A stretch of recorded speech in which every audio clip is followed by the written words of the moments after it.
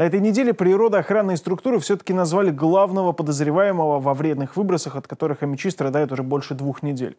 По данным Росприроднадзора, виноват Нижегородский институт прикладных технологий. Его специалисты, по версии надзорных органов, нарушили технологии при работах на очистных сооружениях нефтеперерабатывающего завода.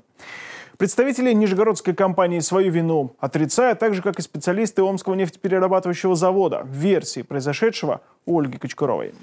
Еще несколько недель назад большинство мечей существовании буферных прудов ничего не знало. Сегодня это самая обсуждаемая тема. Выглядят они как большое замерзшее озеро по заявлению Росприроднадзора. Именно этот объект и является причиной резкого неприятного запаха в городе. По версии надзорного органа, спецтехника раскопала отходы нефтепереработки, копившиеся здесь с середины прошлого века.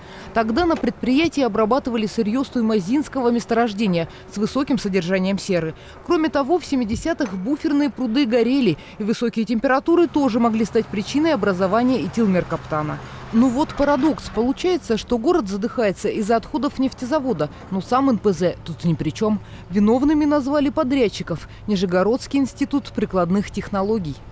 Значит, э, Омский нефтеперерабатывающий завод может нести ответственности в зависимости от э, возложения обязанностей на заказчика, подрядчика и э, субподрядчика.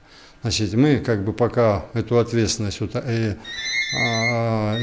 степень ответственности не определили. Все это дело будет определено в ходе административного проведения а, соответствующих а, мероприятий. Нести ответственность за испорченный воздух в Омске нижегородцы не согласились и заявили, что, цитирую, готовы создать независимую экспертную комиссию и обратиться в суд в связи с обвинениями Росприроднадзора в Омске. Это вещество, оно легче воды, и оно не может оседать на осадок. То есть заявление о том, что в результате того, что работа с осадком привела к выделению э, таких газов, оно противоречит вот как бы любой логике, там, э, школьный уровень знаний химии. Чтобы доказать, что источник запаха находится не в буферных прудах, руководство НПЗ предложило журналистам убедиться в этом самим.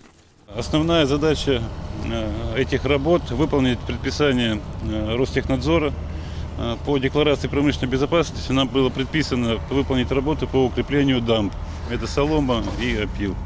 Поэтому ничего тут как бы никакой химии не применяется.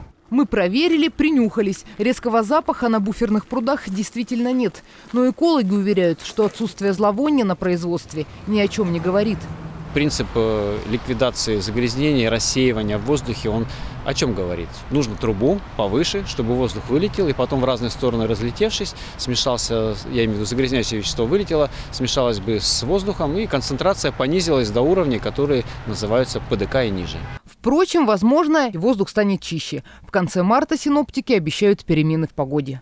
Ольга Кочкурова, Александр Рябуха и Алексей Попов. Омск здесь.